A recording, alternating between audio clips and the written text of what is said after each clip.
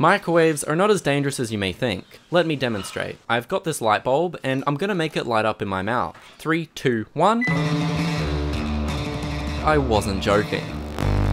Microwaves are much weirder and safer than I ever expected, which allows us to do some pretty weird stuff. In this video, I go through my journey and the interesting experiments over the last few months that led me to basically microwaving myself, but of course without harm. And during my experiments, I'll be taking off my protective gear to demonstrate some misconceptions about microwaves and see if anything happens to my hand. And I was very surprised with the results. Some other YouTubers have also experimented with this, and I promise this is safe. Just wait till the end of this video to see why. You should still definitely not do any of this at home, because that would, you'd probably die. So with that out of the way, let's get into this video. Microwaving food is always so difficult. Even after two minutes, my Hot Pocket is still frozen solid. So of course, I throw it back in for a little longer to warm it up. This scenario may be familiar to you, because it's a worldwide crisis that happens to millions of us every day. 30 seconds over and you're fucked. Explosion. Shrapnel everywhere. It happens all the time. I don't know who decided to put a demon core inside a microwave, but actually, that's actually an interesting video idea. I should try that sometime. But anyway, it's so frustrating watching your food go around, unsure if it's frozen solid or the center of the sun. this happens to me every day. So I've come up with new ways to use microwave ovens that I think is really cool. I was joking at the start, but looking back at my footage, and this does look like something familiar. So don't try anything you see in this video yourself. This can actually be lethal if you're not careful. To solve this microwave cooking crisis, I got to thinking, and realized all our other kitchen appliances have easy access to see how the food is cooking. But in microwaves, they have this pesky metal thing in the way. I really don't like it there. Wouldn't it be easier to see how your food is cooking if you'd had a giant hole in the side of a microwave? So I got to annihilating this microwave's rear end. Now there's many things you shouldn't do with a microwave, and this is one of them. But I think the stupidest thing you can do with a microwave oven is sticking your hand into it, then turning it on to feel your food actively cooking in your hand so you can tell if it's still hot or cold. But that is exactly what I want to do. Wait, what am I doing? This is highly dangerous and stupid. And all of you agree. You're like, I did a thing, I did a thing, I did a thing, I did a very dishes, I did a thing, I did a thing, Is this I did a thing Alexa's son? You're right, I have an Australian accent, and seem to have no self-preservation. So before I do anything with this microwave, I should consider the hazards and safety equipment I need in order to prevent the microwaves from burning my flesh. Because that would- It's a shame you've had to tame your content, but this was still really fun to watch. Thanks for the compliment. It really inspires me to stick my hand into a microwave oven. Start. Start. So, how will I not get cooked? Well, I heard microwaves have this mesh screen that blocks the mini microwaves from leaving and singeing your eyeballs. That sounds dangerous, so I was thinking I need some protection.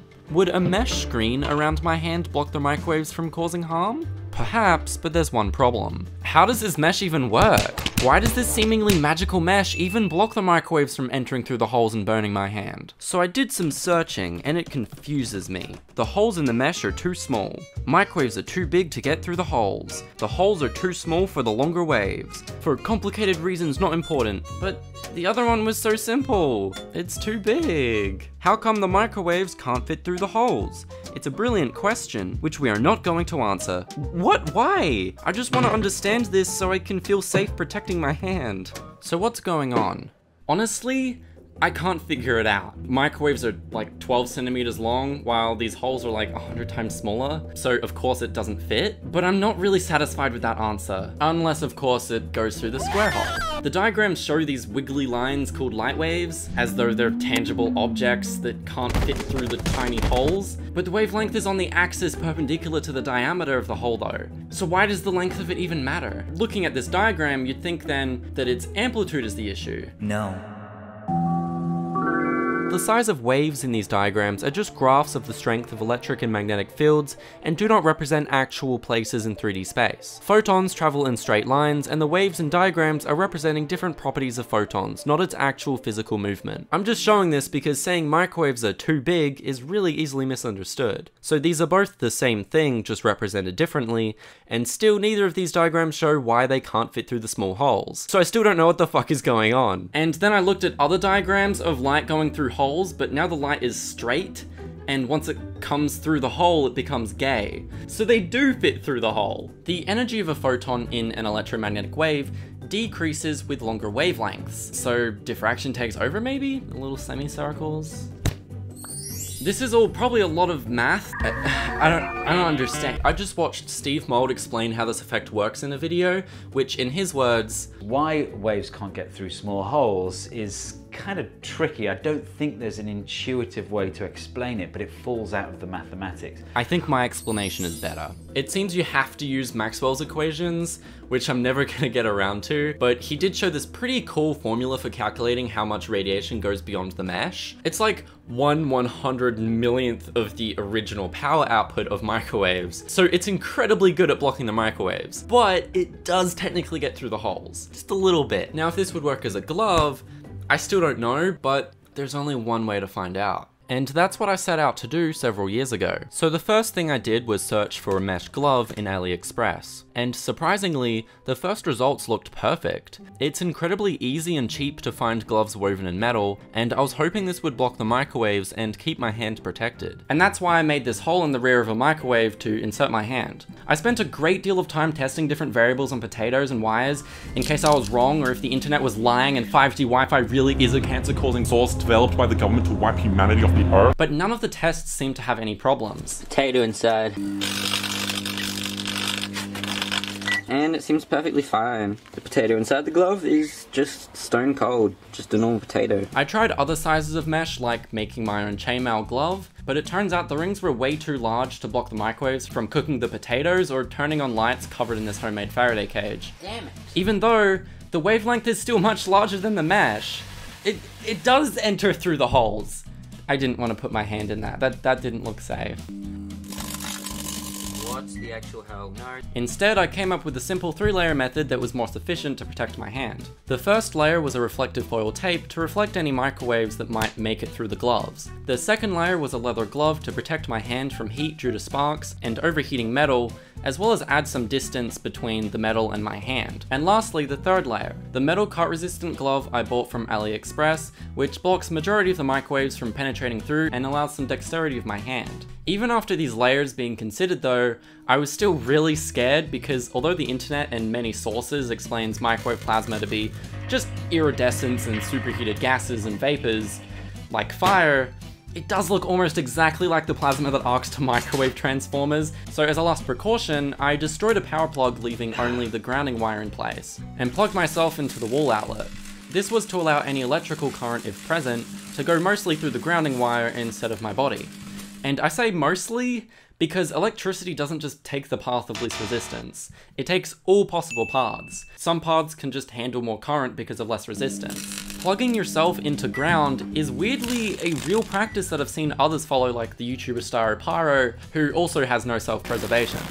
And while I certainly don't recommend it, it did make me feel a bit safer in case anything went wrong or if any microwave equipment malfunctioned inside from being overloaded. Even then though, I still didn't feel comfortable with this giant hole in the back and microwaves potentially leaking out, so I jankily held up a mirror on my lap to reflect any leaking microwaves that would otherwise be absorbed in my skin. This might be overkill, or more likely not enough protection and just stupid to do it all, but when I turned it on, I felt nothing. I didn't feel anything except the glove getting warm. I then tried again with more confidence and held a CD in my hand to see what it would do. So as you can see, my hand is inside the microwave. Let's just see what happens. Oh my gosh. I thought this was really cool to see, but also terrifying. So I quit then and there as I felt I tested the theory enough, and there wasn't any point going further with it, as there's really no use for doing any of this anyway. Yeah, I lied about wanting to cook food in my hand. I really just wanted to see what would happen if I stuck my hand into a microwave oven. Recently though, I was thinking more about this experience and realized I was kind of an idiot. Not just for doing it, but there's also a way easier, cleaner, and probably safer way I could have done this, which is a shame because it would tame my content if I didn't try to electrocute myself. Now to improve the setup, all I have to do is drill a giant hole in the side of a microwave. And don't put my hand inside this time. I don't know why this didn't occur to me before, that I can just hover it above the hole without having to insert my hand into it and risk getting electric shock. However, my drill couldn't even make a simple hole. It doesn't do anything? and this is when I started getting flashbacks from my previous project. But luckily, I finally found my metal cutters, and got to cutting. I made sure to make this hole on the opposite side to the magnetron, which is where the microwaves emit from. Plus, this hole is away from all the dangerous electronics inside that could still hold a lethal charge. Once I was done, I turned on the microwave as a test, but the video got corrupted as my camera got microwaved. So, you're gonna get your own mesh screen, dear viewer. That'll protect you and you'll be far away and zooming in just so the microwaves don't fry your brains too. However, it's pretty clear at this point that the microwaves are going to leak out and get me. So, what happens if they do? Microwave radiation is made of the same stuff that comes out of our light bulbs photons. So it's a bit weird to think that it would boil water so easily. The reason why water does heat up is because the water molecules are polar. Their molecular structure contains a dipole moment, meaning there's an unequal distribution of electrons on the molecule causing it to have more positive and negative regions. This makes them want to align themselves with a magnetic field. Microwave radiation creates a magnetic field that oscillates, and so the polar water molecules start spinning or rocking back and forth to keep with the magnetic field. It's just a lot of friction, which explains why it heats up a lot. So if I put my hand in this microwave, it's gonna cause my hands to heat up, but that's about it. Microwaves don't have any function to cause cell mutations, so forget about cancer. But I still need to protect myself from the heat. So I bought two more mesh gloves from China. This time though, I bought a longer sleeve version as I'd like to protect my arm. I also have this normal one that will go underneath for double protection. The holes in these are even smaller than the holes in the mesh door, so I think they're going to be pretty effective at blocking the microwaves. Now to protect my eyes, I was thinking of cutting out metal mesh and fitting them to my glasses, but that would leave my brain exposed, and I don't feel comfortable testing that yet. So for now, I'll make a mesh shield. I can't just hold these up to my face though, so I'm gonna weave them together with some metal thread. I found this kinda relaxing, and it didn't take too long before I had a finished face shield with a mesh front. I now have a protective mesh microwave screen for my eyeballs and my brain. Now for the first test. I just want to see if I can even destroy the CD outside of the microwave and very quickly the CD cracked and sparkled as it absorbs the microwaves. Looking up close, and this is actually a DVD-R, not a CD, but I'm gonna continue referring to it as a CD anyway because it's easier. In slow motion, you can see the cracks traveling through its surface like it's exploring or something, almost alien-like. Now I want to hold this in my hand, so I've come up with a new layering method to protect myself. First is a cotton glove for comfort, next is a rubber glove for insulation, then I put on a thicker rubber glove before putting on the first metal mesh glove, and then finally the long sleeve metal mesh glove. Now I can test it with this CD. I think before I try to put a CD over the surface, I'm gonna wave my hand over the top just to see if I feel anything. And three, two, one. I don't feel anything.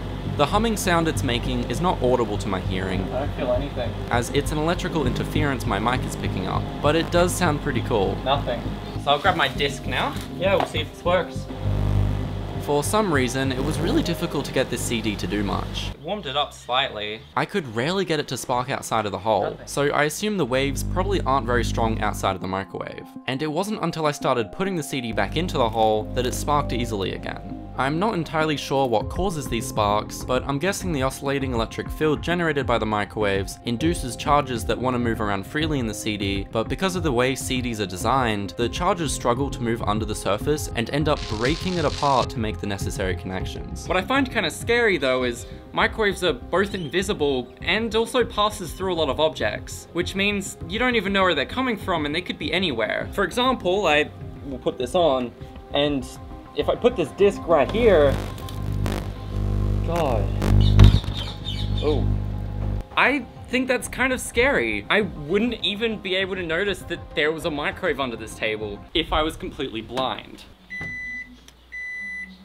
Okay, I would have heard that. And you definitely shouldn't do this if you have a pacemaker. So yeah, my hands do warm up a bit when they're inside the gloves because having that many layers on just isn't very comfortable. Yeah, my hand's fine. For my next experiment, I was inspired by an uh, Red video where he put burning matches in a microwave and they generated a fireball of plasma that he captured in a beaker temporarily. I'm gonna try this myself, except instead of it being behind walls, I want to hold this plasma in my hand. Unfortunately, I think the microwaves are just too weak outside of the hole and I was rather disappointed, so I'll improvise on this later. At this point, I've tested a bunch of CDs, but I want to make my microwave even more powerful, as it's clearly lacking in power here. So I decided to bypass the safety switch in this microwave so it can cook while the door is open. All I gotta do is smash away the door plugs, so I can slot them in, tricking the microwave to think the door is closed. Now I will have access to the microwave source where the strongest power is emitted. Then hopefully I can get the plasma trick to work in my hand. I then spent hours trying to get this microwave to turn on again with no success until I lost my mind and decided to go all in and bypass this microwave internally.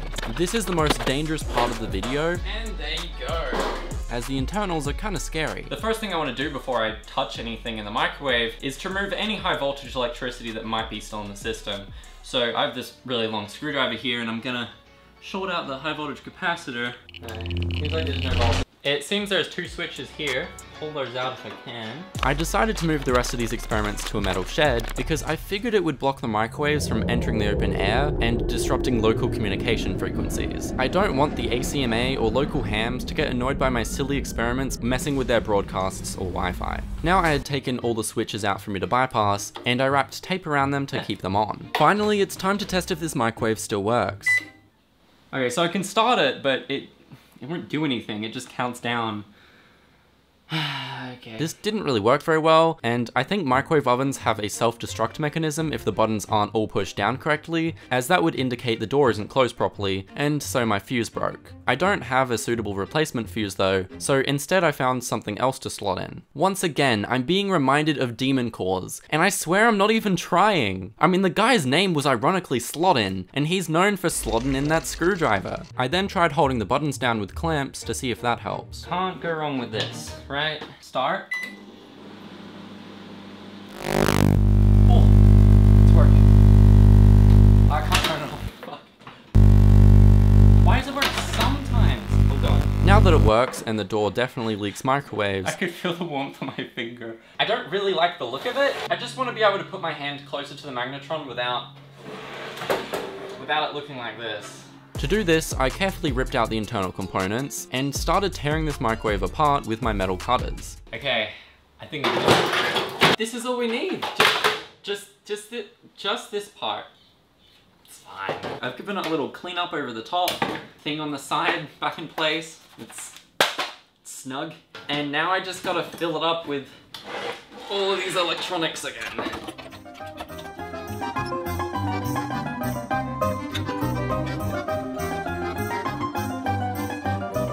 I think I've finished putting all the stuff back together again. I just want to see if this thing works or if I've completely destroyed it. Oh, I can't believe it. But does it still generate microwaves? Yes, yes it does. It actually worked. This big hunk of junk I actually put back together somehow. Then, unfortunately, at 4am, tragedy struck.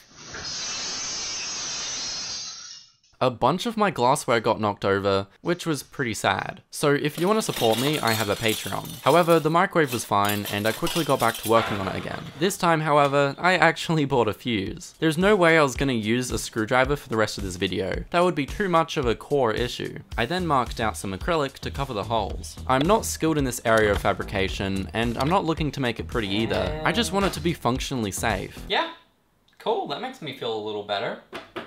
I've baby proofed it for myself. Is it bad that I'm using duct tape to hold it together? I mean, I think duct tape's pretty strong. And this is the finished microwave. It doesn't look pretty, but I think it will do the job. Now it's time to test this right above the magnetron. However, I'm not very confident that I put this thing back together properly. I'm just putting random screws back and they all seem to be going through. It is holding it together, so it should be fine. So in the likely chance that I fucked up, you'll notice I often like to sit in my chair with my legs crossed. Sitting like this prevents an electrical shock from traveling through my body to the ground as I'm isolated. Whereas if I sat like this and completed a high voltage circuit, I imagine it would be like this. So for my first test, I didn't want to get too close, and just wanted to see if I would feel anything around the microwaves.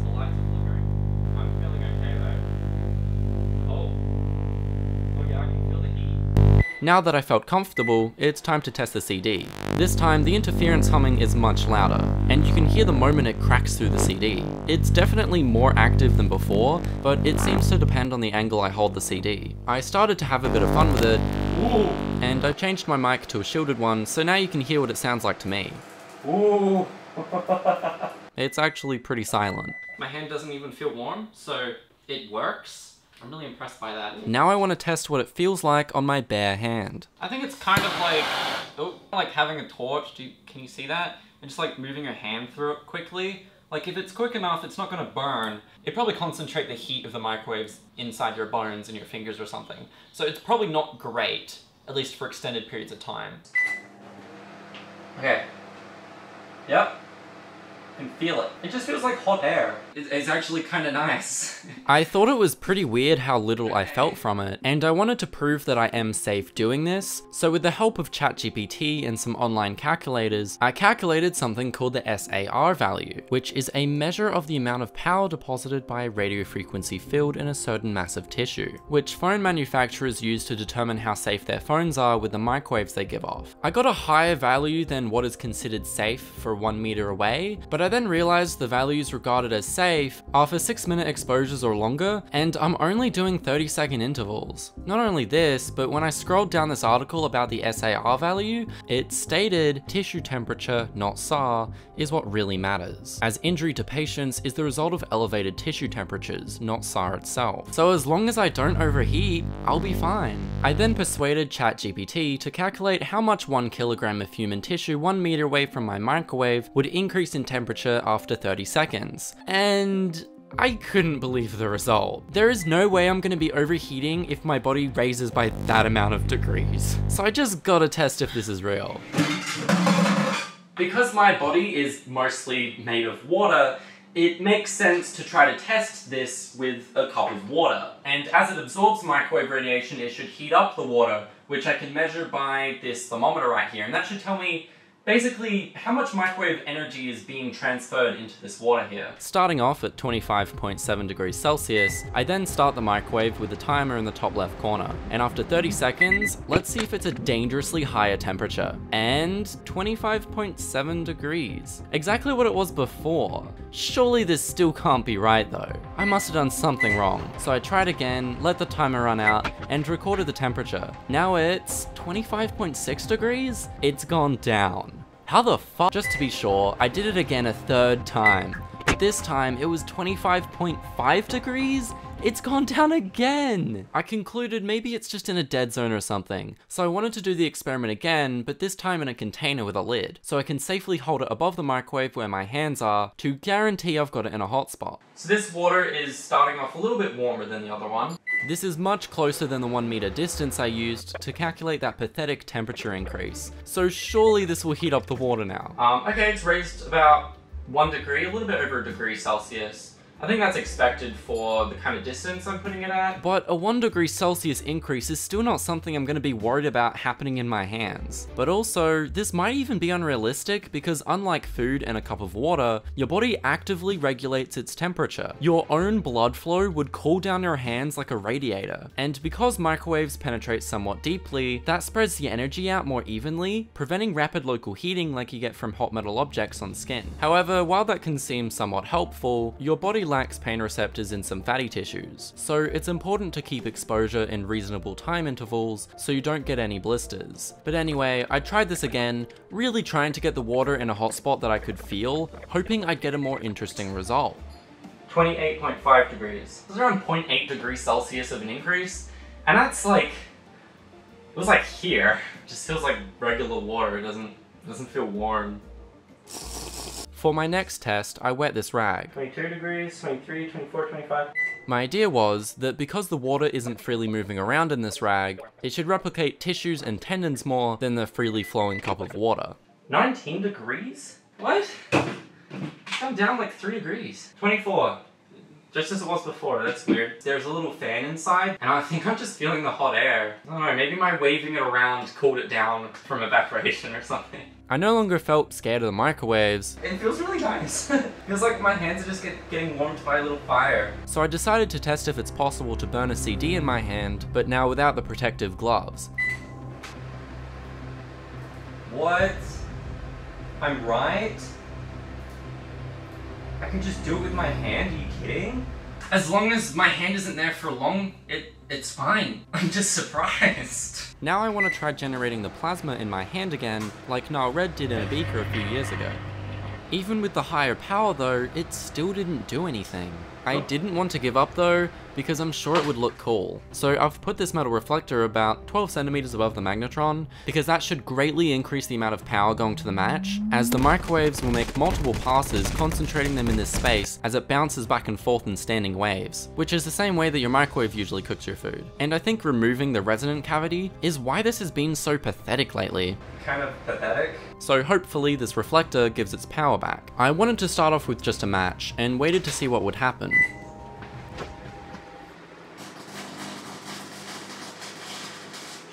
It completely vaporized. This was exciting to see, and so I set it up again, but this time with a beaker above to catch the plasma.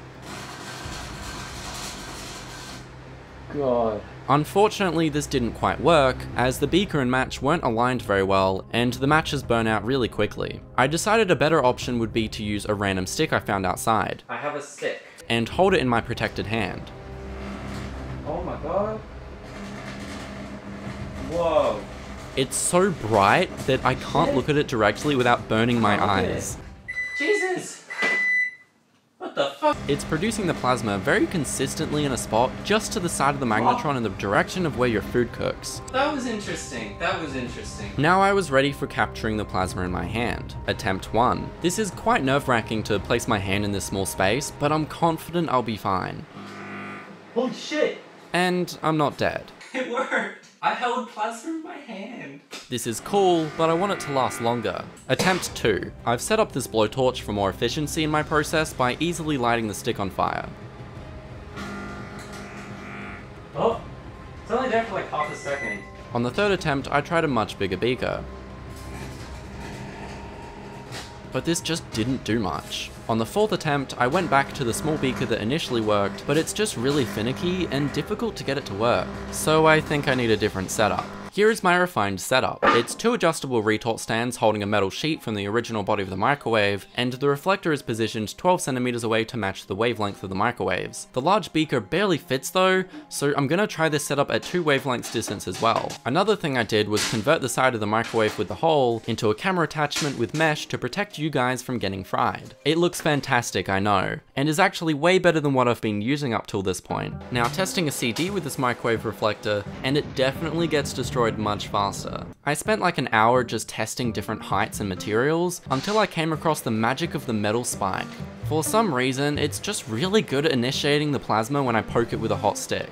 Finally, it worked again. Oh yes. I just need that to happen again.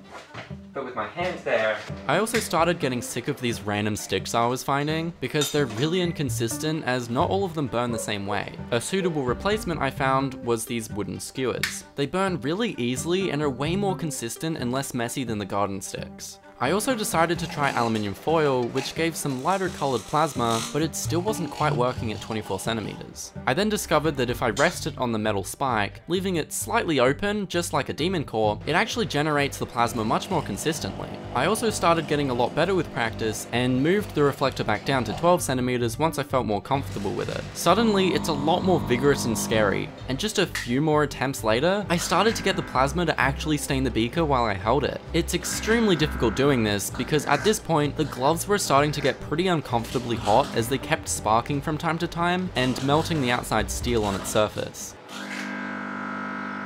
That's the best result I've had so far. That's so cool. But with enough attempts, it finally started to work as I hoped. Oh yeah. Oh. There we go.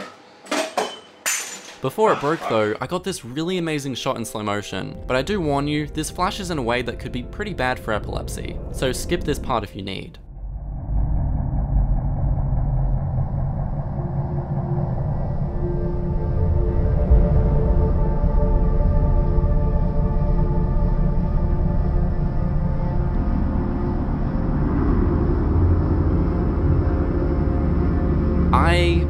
Love how this looks, and so many people quoted this line from Spider-Man when they saw this. The power of the sun in the palm of my hand. And don't worry, looking at my hands, they are still perfectly fine despite getting a little uncomfortably hot in the gloves. But I'm not done. Last night I was thinking, with everything I've shown and learnt so far about microwaves, I'm now curious if anything would even happen if I took off the protective mask from my eyeballs and brain. So I got to looking up what would happen to see if I can even test this for myself, and I came across some really scary stuff. I somehow recorded my screen off center, don't worry about it, I'll just zoom in awkwardly. Um, their eyeballs may explode, from the pressure buildup as the water in them turns to steam. After a few minutes, the heat will have penetrated deep into their bodies, causing their internal organs to rupture and boil. Oh man, maybe I shouldn't do this. However, I started to notice a pattern. All my results on Google are just people answering questions on Quora without any scientific articles showing up, and so most information is just people's opinions backed by anecdotal evidence, but I do have some anecdotal evidence for what it may feel like. Another thing I noticed is people on Quora really love to tell stories and then base their entire conclusions based on something that may or may not have actually happened. One story was of an electrician that warmed up their hands in front of an RF transmitter, and then decades later developed arthritis. Arthritis in the hands in old people, that's weird. The majority of their stories weren't even personal ones, just tales they've heard somewhere. And I tried looking up these cases or tales, but the first results I found were just articles debunking them. The first result is, is there any basis to a story about this happening? or they linked to Facebook conspiracy accounts about 5G Wi-Fi. Did a 5G cellular network test cause hundreds of birds to die? Like, as if it's like a kill box from Halo where the birds just fly through and oh it's too close and they just they just fall down. They kind of make it sound that way. Authored by a man named John who runs several anti 5G conspiracy websites and social Okay, so it's just fake. And then I came across Bob. This guy is kind of insane. This guy claims to have put his hand inside a high intensity microwave field of 10,000 watts. That's 10 times more than my microwave. All my fingers were intact, there was no burning of my hand, nothing, and there was no residual effect whatsoever. The entire demonstration lasted 10 to 20 seconds, just to demonstrate how safe it is. Who is this guy? In September 21st, Bob Schiffmann passed away. Okay, well, I hope that wasn't the reason why.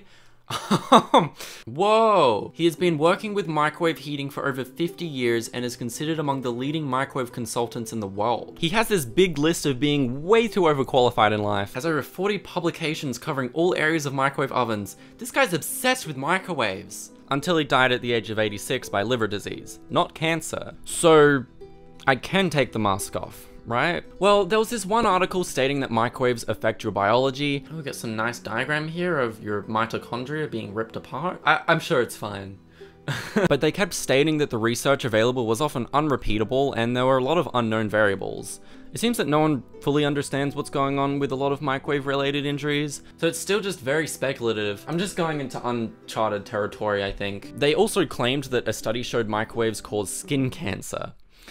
But I looked into their reference and it really wasn't that relevant to my case. Two hours day, two hours daily. Unless I'm actually a mouse and trapped in a cage where I'm exposed to microwaves two hours a day, six days a week for an entire year, then I should be fine. It's still useful to know what happens to mice that are exposed to microwaves for that amount of time, but that's more applicable to if you were to use your internet router as a pillow for months. I'm not doing that. But yeah, if he can put his hand in a 10,000 watt radio transmitter for 20 seconds, and be completely fine, then I think I'll be safe taking my mask off in the distance for a similar amount of time for way less power. I think I'm ready to test this, and I think I'll be fine. Well, this seems like a bad idea. Looking directly right into it.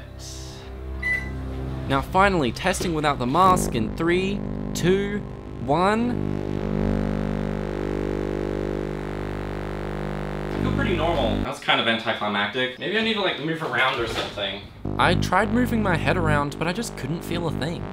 Oh yeah, it's a little bit warm down there. I pretty quickly got bored of it and started messing around with it for much longer than the 20 seconds I was originally gonna do. It's almost as if this isn't that dangerous. I don't feel anything unless I'm like here, and then it gets uncomfortable when I'm like here. Over here, I can't feel a thing. But what if I moved it even closer? Okay, it's just turned on.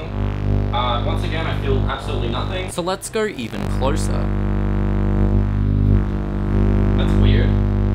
My eyeballs aren't exploding. My brain's not frying. But what if it was, you guessed it, even closer? Here, take them. Take my eyeballs. Take it. I dare you. I want to test something. I want to see if I can boil water by just leaving it there. I'm thinking this would give an idea of how food would cook. Yeah, that's it. Although I started to realize this was going to take longer than I expected. Removing the outer shell of the microwave absolutely destroys its efficiency. It's not boiling. I want it to boil. After such a long time being irradiated with microwaves, it didn't even get above 50 degrees Celsius. That is sad. This wasn't very fun, so I decided to have fun with it. Bullshit. Now these fluorescent lights are much more entertaining. Lightsaber. I had a lot of fun getting myself more familiar with this microwave energy and testing different things like what would happen if I touched the metal end of the light bulb. Okay, now I'm touching the metal part of the light bulb too. And what do you know, it's Whoa. fine. I love that. Another weird thing I've noticed is sometimes the microwaves emitted will bounce back and interfere with the internals of the microwave oven itself and increase the timer by 30 seconds. Really hot. Oh, the CD is really warm. That's cool though. The last thing I wanted to do with this microwave is something I don't recommend, but I assure you it's fine. Okay.